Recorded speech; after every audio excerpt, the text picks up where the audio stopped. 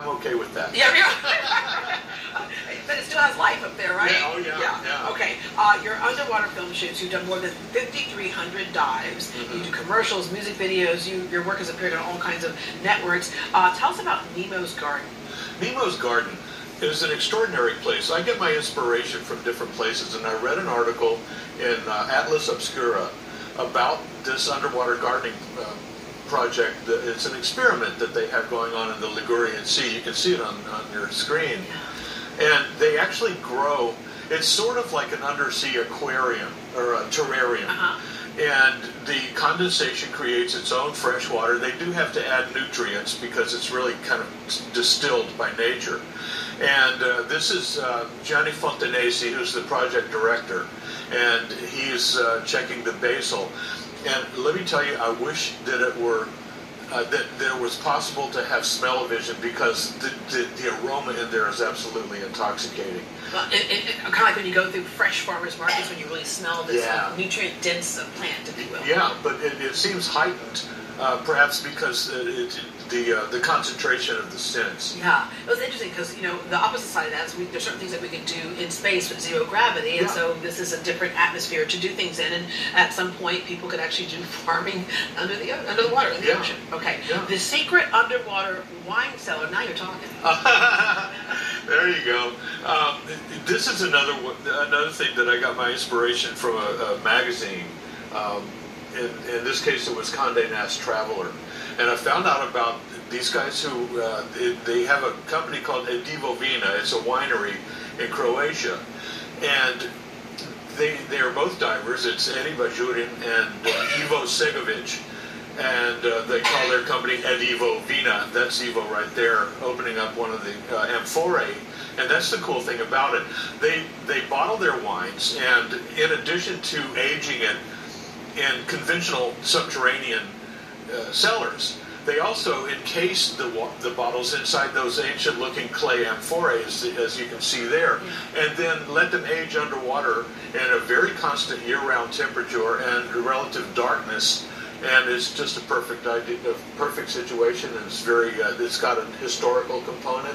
Fascinating place. Yeah. Love me some Croatia. Yeah, it's a whole different idea of a winery, huh? okay. Um, I, when I told the couple people you were coming on the show, they said, "Oh, can you ask him for us, please?" Okay, so one thing was Bermuda Triangle.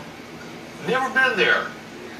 I can neither I confirm don't know nor I would deny. go there. Yeah, right. the other was Atlantis, the missing city under the sea. Never been there either. I've stayed at a, at a resort called Atlantis in the Philippines and love it. It's Yeah. a great place. It's like my island away from Ireland.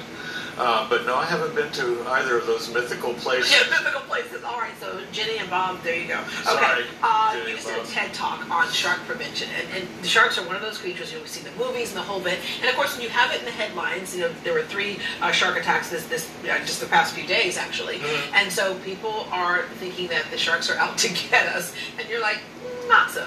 No, I mean, sharks are dangerous, certainly, as, as you can tell by by the, the attacks that happen.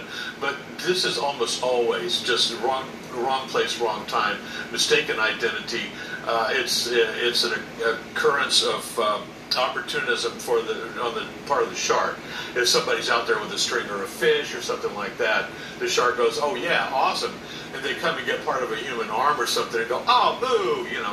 So you know they, they don't they don't target us. They don't hunt us. No, yeah. No. Yeah. There were 2,778 confirmed unprovoked shark attacks between 1958 and 2014, about 500 fatalities. But the point you're making, if you are a shark in the ocean, that your job is to find food all day, Yeah, right. you have somebody who's on a surfboard, and you see like, oh, there's four good pieces of fish that are paddling in the water. There's a great example of that at Moody Gardens on, on Galveston, where they have some silhouettes. A surfer on a board right next to a sea lion, and they, they look almost identical. And so when, when a shark looks up and sees that, you know, they go, mm-hmm. Yeah, That's summertime. some, that's some takeout for me, baby. You All so- so we've always been told that if, a shark came up on you, that you just punch it in the nose. Is that Well- mythical or what? You know that that has actually happened, and uh, the, very famously, I think it was last year, a man uh, saved his daughter from a from a shark by by punching it, and so that's that's an uh, an answer better left to you know somebody from MMA or something. you know. yeah, yeah.